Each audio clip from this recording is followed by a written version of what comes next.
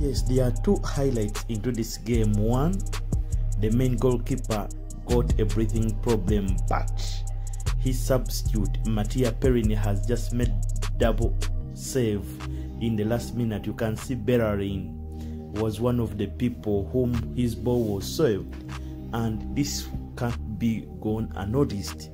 So, subscribe, like, and share.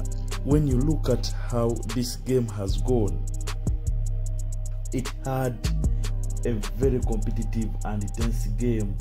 However, this means that now Juventus has won 1 0 and in the return leg next Thursday, it has to do a lot, a lot, a lot, a lot. This is all I could tell you.